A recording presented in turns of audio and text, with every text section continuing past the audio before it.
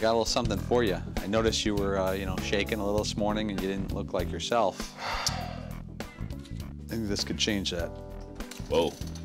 Fresh order of incense. Now, I don't want you to go willy-nilly. I'm just gonna give you one today. Uh, Just a taste. I don't want you going crazy. I, Well, I need I need about four a, a, a day. That's where your habit's at? Yes, I'm I'm a four stick a day guy. I'm gonna I'm gonna give you two now, and then come see me later, and I'll give you two more. Hmm. I got a little something over here you might be interested in. Is that black market? Where'd you get that? Don't worry about that.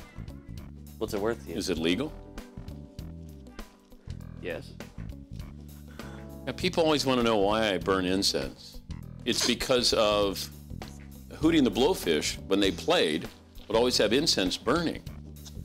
And I always just liked the smell when I was off the side of the stage. And I figured, you know, there's a Zen like feel to it. There is. So when I was in Phil Jackson's teepee, and then he's firing up, he's sparking up some incense. And uh, I don't know, I just felt at home. Time to go spark up. Yeah. Thank you, boys.